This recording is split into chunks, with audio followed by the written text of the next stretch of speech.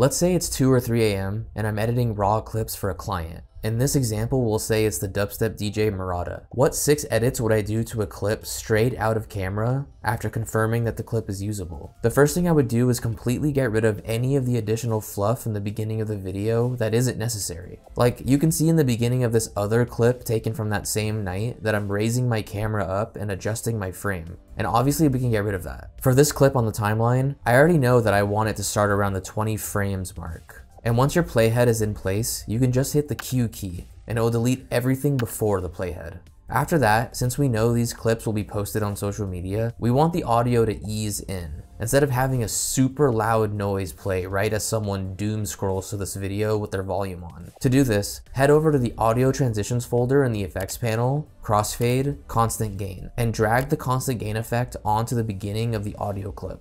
Since I know this specific clip is insanely loud and really hardcore dubstep, I'll actually highlight the audio clip, click the G key, and lower the gain, aka volume, by at least 5 decibels, just for good measure. After that, I'll highlight the main clip and head over to the Lumetri color panel to give it a quick color correction, assuming we're not using any LUTs or presets in this case. What I'll usually do first is open up the basic correction panel so I can adjust the temperature to be a little bit more blue and the tint to be more purple. I'll increase the saturation, exposure, and contrast accordingly, but never anything crazy. I'll then hop over to the creative panel and increase the vibrance to around 50-ish.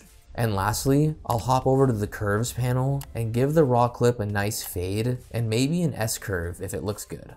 I'll usually give the video a watch or two at this point and adjust the colors and exposure accordingly. Usually we can end the color correction there, but since the video does have pyro in it, sometimes I'll also color grade on top of color correction just to make specific sections pop a bit more. To do this, I'll slide my playhead to a point in the clip where there's pyro, and then I'll grab this eyedropper tool for hue versus saturation, and click on the pyro and it will pinpoint the exact color that was selected. By simply raising this dot, it will increase the saturation of that orange hue in the entire video, obviously including the pyro. And then we can do the same for the hue versus hue section and give the pyro a more intense red color. Usually with color grading, you'll add the edits to an adjustment layer so it doesn't affect the orange hues of the entire clip, but for this example, it's fine. After that, I'll find the point where I quickly turn my camera away from the artist and use it as the ending of my clip. I'll find a good ending spot and then click the W key to delete everything after it. Then while fully zoomed into the timeline, I'll just click Command plus Shift plus K six times at the end of the clip